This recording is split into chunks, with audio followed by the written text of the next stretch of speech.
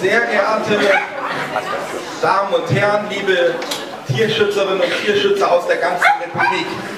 Wir haben gerade schon gesehen, der weiteste Weg ist wahrscheinlich Starnberg aus dem Bayerischen äh, bis hierher, aber die meisten von Ihnen haben einen langen Weg gemacht bis hierher. Ich freue mich, dass Sie alle da sind. Und äh, ganz neugierig haben Sie ja schon geguckt und sind um die Autos geschlichen. Es geht gleich los. Vorher natürlich noch ein paar einführende Worte.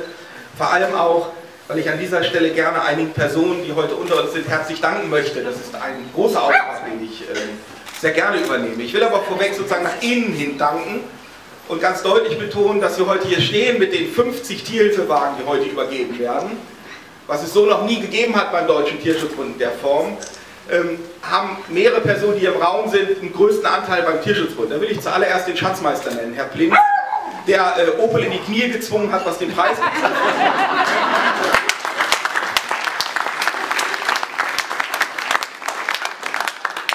und der vor allem auch schon hier unter Probe gefahren ist. Welcher Wagen ist dann der richtige? Deswegen, Herr Plinz, herzlichen Dank. Frau Seidel fürs Präsidium. Wo ist sie jetzt? Die muss winken. Da hinten ist Frau Seidel, die auch im Präsidium die Entscheidung mitgetroffen hat, überhaupt das Geld im Haushalt dafür frei zu machen. Ihnen beiden als Präsidiumsmitglieder herzlichen Dank für die Unterstützung.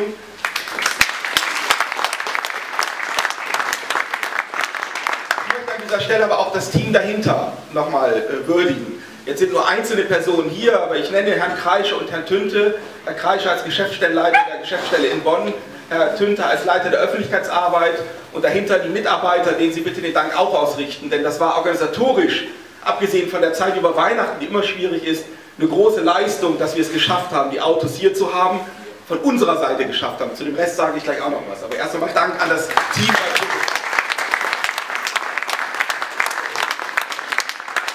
Ich darf dann an dieser Stelle herzlich begrüßen ähm, Vertreter von Opel, ohne die wir es nicht geschafft hätten, denn am Ende ging es schon darum, äh, das Maximale aus dem Etat des Tierschutzbundes herauszuholen. Das ist uns in gemeinsamen Gesprächen gut gelungen. Ein gutes Auto, ein gutes Produkt zu einem Preis, den wir auch mit unseren Spendenmitteln leisten konnten. Das ist ja immer die Voraussetzung, dass wir Menschen haben, die das Geld geben, um es dann wieder an die Vereine zurückzugeben. Ich danke äh, Herrn Frank Hegele, Direktor Großkunden. Vielleicht kann er kurz winken dann. Genau. Ja. Ich Angela Hechler, Leiterin Verbandsgeschäft, die mitbeteiligt war bei all den Gesprächen. Ich danke ganz herzlich Herrn Andreas Witte, Leiter Nutzfahrzeuge der Adam, Adam Opel AG. Und man muss immer der Bank danken, deswegen sage ich Karin Schulz, Opelbank, auch herzlichen Dank. Auch wenn wir sie in diesem Fall nicht gebraucht haben, wir haben es aus eigenen Mitteln geschafft, ohne Finanzierung, aber wer weiß, was kommt. Deswegen äh, auch Sie herzlich willkommen. Und natürlich sozusagen als ortsansässiger äh, Opel-Vertreter, wenn ich so sagen kann. Ich danke natürlich herzlich Herrn Bernhard Rosenthal als Geschäftsführer dafür, dass wir heute hier sein können, dass Sie es mit organisiert haben. Herzlichen Dank. Ich danke Herrn äh, Guido Nö, der im Autohaus Rosenthal der Verkauf Großkundendispositionen äh, in den Händen hält. Herzlichen Dank. Ich danke Herrn Joachim Brockmann, der die Nutzfahrzeuge-Spezialist ist, wie es mir hier aufgeschrieben wird, im Autohaus Rosenthal. Wo ist er? Ganz hinten ist er. Ja, ganz hinten in der Tür. Den haben Sie bei der Kennzeichenübergabe dann schon kennengelernt und gesehen, wahrscheinlich gerade eben im Raum alle. Und ich danke natürlich, auch die gehören dazu, die Presse von Opel, Herr Wolfgang Scholz, der auch unter uns ist, der die Pressearbeit auf Opel-Seite weiter betreut. Ganz hinten auch. Und ich möchte stellvertretend für den ADAC, die heute das Gelände freigemacht haben, für all die Tierschützer, die in Kurven gleich über das Gelände rasen werden, äh, hoffentlich keiner Überschlag. Ich danke natürlich Herrn Michael Barth, stellvertretend Geschäftsführer ADAC, für seine Mitarbeiter, die heute mit ihm die Trainings durchführen.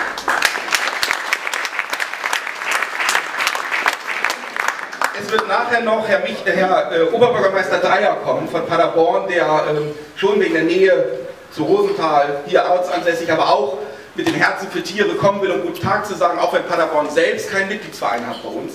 Er wird jetzt neidisch und sicherlich haben wir bald einen neuen Mitgliedsverein. Da gehe ich das ist jetzt die beste Gelegenheit. Äh, so wird der Oberbürgermeister sein. Aber ich will das auch deswegen sagen und anschließen, weil wir natürlich heute auch hier stehen und das gestatten Sie mir eine Minute kurz auszuführen, weil es am Ende darum geht, äh, wie die Lage der Tierheime in Deutschland aussieht. Denn auch dafür stehen wir hier. Sie alle haben die letzten Jahre schwere Kämpfe führen müssen schon davor, aber besonders die letzten Jahre, weil es finanziell immer enger wurde, weil die Kommunen sich immer weiter zurückgezogen haben aus ihrer Pflichtaufgabe Tierschutz, weil wir immer neue Aufgaben aufgelastet bekommen haben, ohne dass dafür auch die finanzielle Erstattung passiert ist. Ich nenne das Stichwort Landeshundeverordnung, die länger bleibenden Hunde, die nicht mehr vermittelbar sind durch solche hysterischen Gesetzgebungen. Wir haben die exotischen Tiere, wir haben die Menge an Kleintieren und all das wird immer wieder geschoben und wird gesagt, der ehrenamtliche Tierschutz macht das schon, ich als Bürgermeister habe da ja einen Verein, da muss ich mich nicht mehr kümmern. Nee, andersrum ist es, es ist eine Pflichtaufgabe der Kommune, sich um die Fundtiere, ich sage, sich um Tierschutz in der Stadt zu kümmern. Das ist mehr als die Fundtierbetreuung. Und damit wir sie stabilisieren als Vereine, haben wir auch diese Entscheidung heute getroffen. Wir haben nicht nur knapp eine Million Euro an Barmitteln an Vereine gezahlt durch Zuschüsse, plus Beratungsleistungen und Zuschüsse. Wir haben hier unter uns die Frau Schönstein von der Tierheimberatung, die mit ihren Kolleginnen unterwegs ist. Eine Leistung, die wir auch bezahlen als Mitarbeiter, Tierärzte, die wir haben. Aber vor allem haben wir mit dieser Aktion nochmal knapp, ich darf die Summe hier nennen, 750.000 Euro in die Hand genommen, die wir am Ende noch tragen mussten für die Autos, um sie zu stabilisieren. Geld, das eigentlich die Kommunen hätten bereitstellen müssen, um sie auch für die Fundtieraufgabe, wenn sie schon übertragen wird, fit zu machen. Das heißt aber, wir haben es geschafft, einige Tierheime zu stabilisieren. Viele sind noch in Schwierigkeiten. Und ich bin fast sicher, dass dieses Jahr 2016 eines der schwierigsten Jahre werden wird für viele, weil wir immer wieder hören, die Rücklagen sind so ziemlich jetzt bei Null, wenn es sie überhaupt noch gab. Die meisten planen über die nächsten zwei, drei Monate. Insofern, Herr Plinz, Frau Seile vom Präsidium, sind wir froh, dass wir hiermit zumindest eine stabile Tierschutzarbeit vor Ort sicherstellen können, mit dem richtigen Fahrzeug, der richtigen Ausstattung, dass sie auch wirklich ihre Arbeit, für die sie ja brennen, ihr Kerngeschäft ist sozusagen. Dafür stehen sie auf der Straße, kriechen durch die Wälder, helfen den freilebenden Katzen. Das ist ja morgens um viel die Aufgabe an vielen Futterstellen, mit dem Wagen rumzufahren. Sie werden nachts angerufen, Hunde äh, zu retten, ausgesetzt sind oder verletzt sind und hilflos da liegen. Wir freuen uns drum, wir freuen und hoffen, dass wir damit auch die Lage der Tierheime wieder präsent machen in diesem Jahr. Wir werden, ich kann es ankündigen, mit, äh, im Frühjahr mit einer Image-Kampagne, so nennt es sich, für Tierheime nochmal starten. Das heißt auch mal deutlich zu machen, was die Tierheime eigentlich alles leisten. Wir wollen immer klagen, wofür wir nichts bekommen, aber wir wollen jetzt so langsam mal sagen, warum machen wir das alles eigentlich? Was leisten wir für die Gesellschaft, weil wir glauben, dass dann auch noch mehr Leuten klar wird, ohne uns kann es nicht weitergehen. Ohne uns wird der Tierschutz in Deutschland zusammenbrechen und deswegen rücken wir heute zusammen mit der Übergabe der Wagen und zukünftig bei all der Arbeit, die wir gemeinsam leisten. Schön, dass Sie im Dachverband Mitglied sind. Es lohnt sich, in einem Dachverband Mitglied zu sein. Sie selber erleben es ja heute.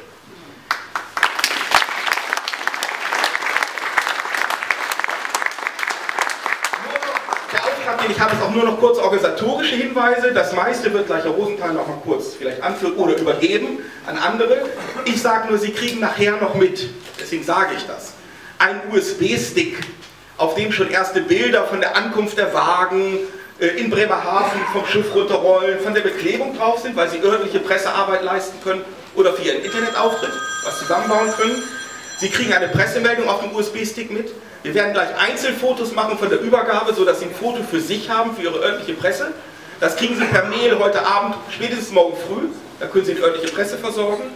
Ähm, und Sie kriegen noch eine Tierschutzbund-Infokiste mit, die Sie am Ende noch abholen, bevor Sie das Gelände verlassen.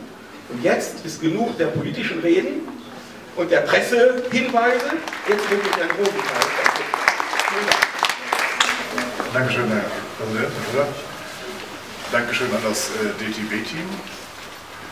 Sehr geehrte Damen und Herren, herzlich willkommen im äh, Ostwestfalenland. Als Soester würde ich jetzt eigentlich sagen, in der Nähe der fast Hauptstadt von Westfalen. in diesem Fall sage ich äh, im schönen Paderborn. Der Bürgermeister ist noch nicht da, kann mir noch keine Schelte geben, also ist das okay. Ähm, ja, es war für uns als äh, Flottenzentrum der Alamopel AG eine sicherlich sehr interessante Herausforderung, das Projekt hier umzusetzen. Wir haben mit Ihren Mann da diverse Gespräche und mitunter auch sehr konstruktive Verhandlungen führen müssen, bis sie sich endlich geschlagen gegeben haben. Ähm, das äh, hat aber auch sehr viel Spaß gemacht. Ihre Truppe war mit und ist, kann ich ganz nur bestätigen, mit sehr viel Herzblut bei dem, was sie tut. Äh, sie hat da sehr gut abgewogen, was sie tun. Und äh, ich als Handelsunternehmer kann nur mit meiner Mannschaft sagen, dank der sicherlich auch guten Unterstützung der Alamopel AG in diesem Zusammenhang, haben wir hier was zusammen hingekriegt, was dann auch dazu führt, dass Sie heute hier unsere Gäste sein dürfen und wir mit Ihnen das neue Produkt erleben dürfen und äh, da Rede und Antwort stehen dürfen und das auch noch unter der fachlichen Begleitung von Versicherheitstrainern des ADACs, die Ihnen nachher ein bisschen verkehrstechnisch die Leviten lesen werden. Das kann ich Ihnen nur vorweg sagen. Ich will es auch deshalb kurz machen. Sie sind alle schon registriert worden von meinem Team. Sie sind soweit erfasst und assimiliert. Ähm, das geht jetzt nach einzelnen sogenannten Slots weiter. Wir sind in vier Trainingscourts unterwegs. Da gibt es einen Theorieteil. Dieser Theorieteil hat dann damit zu tun, dass Sie das Thema Ladungssicherung nochmal auf den neuesten Stand bekommen. Wir haben Ihnen da als soweit dann zu den kleinen Nettigkeiten und Mitgaben als kleines Präsent unseres Hauses eine Basisausstattung, Ladungssicherungsmaterial als Geschenk mitgegeben in unserem kleinen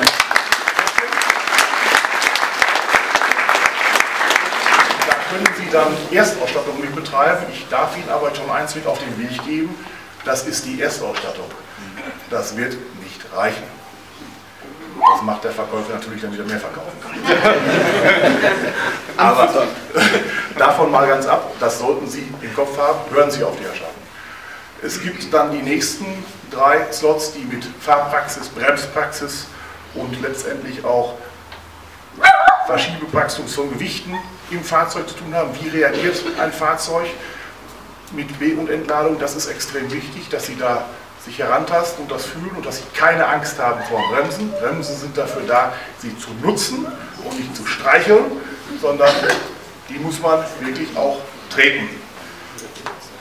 Weil sonst können wir keine Bremsen reparieren, wenn die gemachtlos sind. Es ist aber auch wichtig, dass Sie sich an die Anweisungen der Trainer konkret halten. Wenn Sie hier diese Tür verlassen und in die einzelnen Slots reingehen, dann ist es so, dass der jeweilige Trainer der Herrscher im Ring ist. Und der sagt Ihnen ganz genau, wie Sie sich bitte verhalten sollen. Da ist dann auch oberste Priorität. Da hat keiner reinzureden und ist dann bitte auch Folge zu leisten. Wir fahren hier mit Autos und wir sind eine Menge Menschen auf dem Gelände. Sicherheit, Safety First ist für uns das Wichtigste. In dem Zusammenhang darf ich mich bei Ihnen allen bedanken, dass Sie hingefunden haben und bei dem Deutschen Tierschutzbund, dass wir zusammengefunden haben Herrn Hegele, dass er gekommen ist und das bestätigt hat, dass er gesagt hat, ich bin dabei. Spitze. Die Adam Ohl AG, denke ich mal, kann ich sagen, hat sich da sehr gut positioniert. Ja.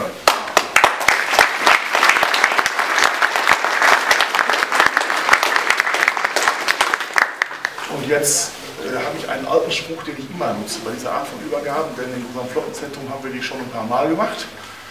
Ähm, da gibt es aus diesem alten Film mit wie heißt er nochmal, der große deutsche ständige Schauspieler, der fast so wie ich ist, aber die Männer in den vielen Kisten, sagt dann, Männer an die Maschinen. Aber jetzt haben wir auch Frauen dabei, also Männer und Frauen an die Maschinen. Ich bitte jetzt, dass Herr Ratz übernimmt. Wo ist er? Michael? Gerd Fröbe. Gerd Fröbe, den meinte ich, genau. Ja. Jetzt geht's los. Danke. Ja, schönen guten Morgen. Ich wusste vorher, dass die Politiker zu lange brauchen, deswegen nicht so viele Worte. 11.15 Uhr! Ja, sind alle fertig, alle fertig. Ruckzuck. Wir Worte sind genug gewechselt. Wir sind heute zu fünft hier. Das Team möchte ich gerade ganz schnell vorstellen. Wir haben dann einmal äh, die, die, die Hundegruppe. Hundegruppe ist die Susanne Wolf. Ja, rausgehen, Hunde mitnehmen. Jawohl. Die nächste Gruppe sind die Katzen. Das ist der Gerd, der hat auch zu Hause Katzen. Könnt ihr schon folgen? Dann haben wir als dritten die Fische, er angelt gerne, also was anderes.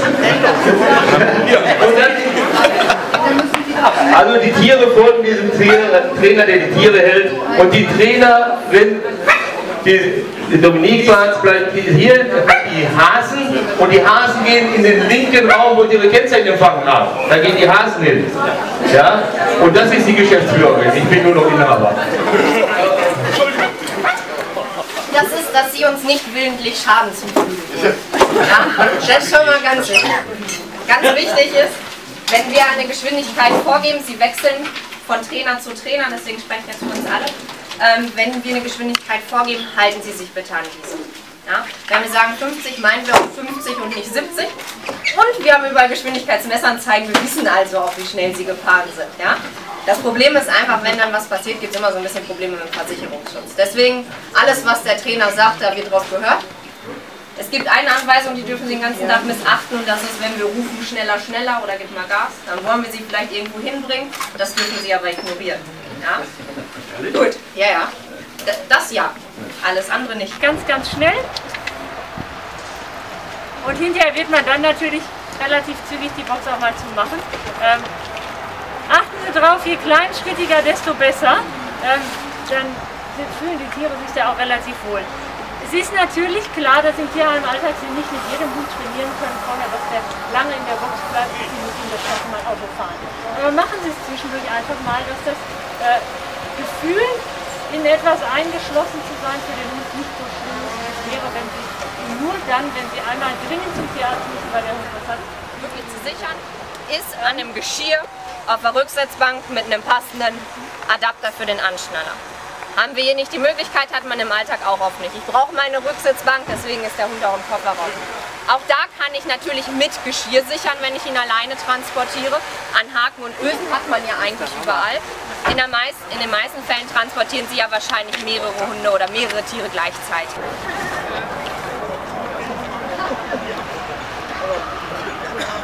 Hör mal, das ist ja wohl.